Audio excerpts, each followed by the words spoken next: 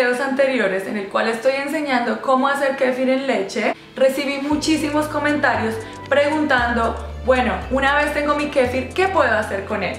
Y hoy les quiero compartir esta receta eh, en la cual vamos a incorporar el kefir previamente fermentado por algunos días y vamos a hacer una granola casera. Una probiótica y para quienes no saben, la que está ahí es mi madre y es una experta en inventarse recetas con el kefir, tanto de agua como de leche, así que pongan mucha atención, ya vamos a empezar. Para esta receta eh, vamos a hacer un bache o una porción personal o pequeña una taza de avena y vamos a adicionarle nuestro kefir preparado.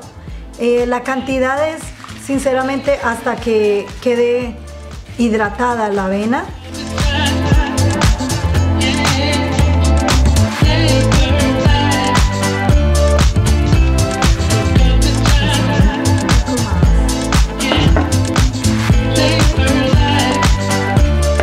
Bien, ya quedó hidratada y la vamos a dejar reposar por dos o tres días para que se active la fermentación en un vaso preferiblemente de vidrio y lo vamos a dejar de uno a tres días. Lo que va a pasar en el transcurso de estos días es que las bacterias ácido lácticas del kéfir van a alimentarse de los almidones y azúcares presentes en las hojuelas de avena, creando ácido láctico a medida que metabolizan estos carbohidratos y ablandan la avena. Lo vamos a sellar y para que salgan los gases que produce el kéfir simplemente le vamos a poner un filtro, nada de sellamiento hermético y lo vamos a dejar por de 1 a 3 días y así empezamos a fermentar nuestra granola. A nosotras nos gusta dejar transcurrir esta fermentación por 3 días, pero tú puedes experimentar y detener la fermentación según el nivel de acidez que prefieras en tu granola resultante. Al final le vas a poner toppings y endulzantes que cortarán con este ácido, así que no te preocupes por tener la granola ácida en todo el sentido de la palabra. Quedará deliciosa y cargada de probióticos. Y aquí eh, transferí en una bandeja para hornear con eh, papel eh, de cera o para hornear especial nuestra mezcla o preparación de la avena con las semillas y lo vamos a poner a la temperatura más bajita de nuestro horno, en mi caso son 170 grados Fahrenheit y lo voy a dejar por toda la noche, alrededor de unas 8 a 10 horas hasta que quede perfectamente crispy o tostadito.